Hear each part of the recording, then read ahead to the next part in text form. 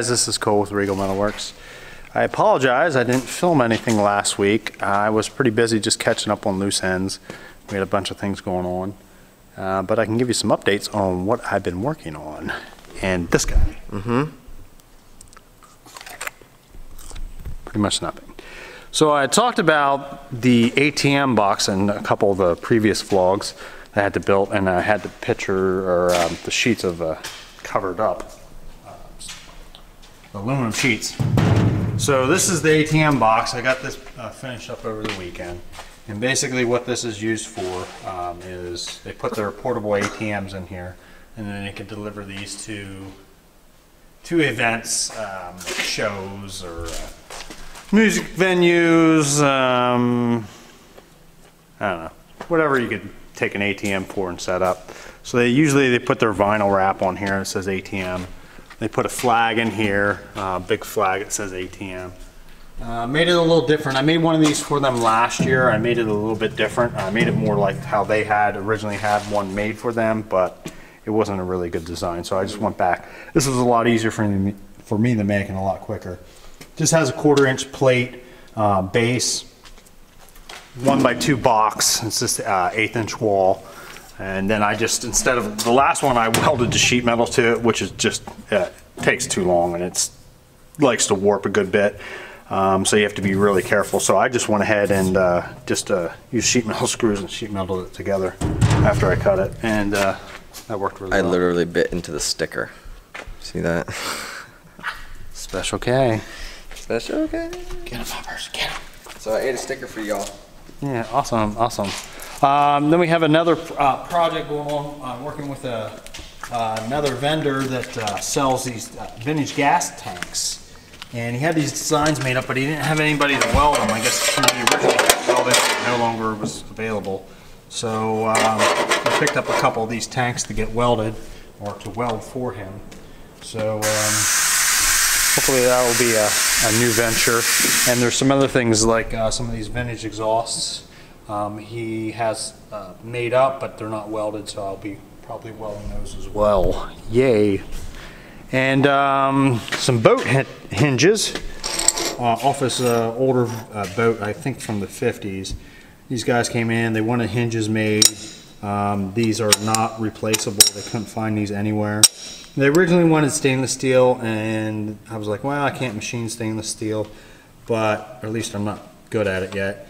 Um, and then they said about aluminum, and I said, well, I can machine it out of aluminum, but until I started looking at how many times I was going to have to reposition this to the machinist, I was like, you know what, I'm just going to draw it up in CAD, and I sent out the files to the laser cutter and had him cut these out for me, and then I just machined up the hinge part and welded them on. Um, tumbled it, all I have to do yet is polish this, so I'll polish this on the buffer, um, and then I'll weld these pins, um, the heads on them so that they don't slide out, and they should be good to go. And these are all three or four stainless steel, so they won't have any problem rusting, and it should be a nice mirror finish by the time it's done. This is a locking electric locking differential out of a Jeep. The guy had broke and cracked. Uh, let's see if we can focus in there. That line that's right here, that was completely cracked all the way through. So I, just like I do with aluminum cast, channel it out and go back and fill it with weld. Now cast is really difficult to weld because unlike aluminum, it'll weld all right. You just have outgassing. You'll get a little bit of outgassing here, but your biggest issue you have is if you don't use the right filler, it will crack on you, no matter what you use. So there's a little procedure that you really need to do. You need to preheat the part, and you really need to post-heat the part. Now, in this instance, I, I started trying uh, to weld with some special uh, filler rod I have that I wanted to try that was supposed to be really good on cast, but easy TIG wire. I don't know. It didn't do crap. It just cracked right away. If we spin this over, it's still a bit warm. You can see how big that weld is there. That's how much weld I had to put in. I V'd it out really good. I couldn't really get inside to V it out, so I just went back on the inside and refilled it in, which is good because it, there's a washer that fits in there and it needs to be flush. Um, but I used 309 filler wire, wire uh, stainless steel filler wire, and that's the only stuff I've ever had any luck with cast that doesn't crack. If you try and use regular filler wire, steel filler wire, it'll just crack right away. Apparently, this easy TIG wire that's supposed to be for cast doesn't work. But the, you need a high nickel content is essentially what you need in order to keep it from cracking. But I was able to get that. This hole, the pin, what had happened, there was a pin that runs down through there that had, I'm not sure if it broke or whatever, it wobbled out, it, it elongated this hole, so I filled in as best I could from the inside, which was really hard getting my torch in there and welding that. But I was able to fill it in, so we'll just have to take a, um, a die grinder and die grind it out to, to fit the pin so that that will slide back in there through through that hole there. You can kind of see how it's dished out here. Get my finger out of the way. It's dished out. That's where the there's like a, a washer that cups in there. So when I welded the other side, you can see there, I didn't really want to get too much weld buildup in there because that would be really hard to grind out because it's dished. So, yeah. It's a neat little project. I'm not sure how much this thing costs. I'm sure it's not cheap. Yeah, it's much cheaper to, to get it well repaired. And hopefully it'll hold up for him. He just uses it for off-roading. And I did video some of this. I don't know what I got that's good because my batteries are either dying or um, the fall got foggy in there and that might have been blurry. But we got commissioned to make three more sets of these guys. These are the brake caliper adapters for this race team that I designed last year for them so they can run larger rotors um, and still use the same calipers on the, the same carrier. Um, I have to make, I got two of these made, I got to make a third one and then I got to make the mirror image of it. So they need six total, so three sets. And here's some video footage of that.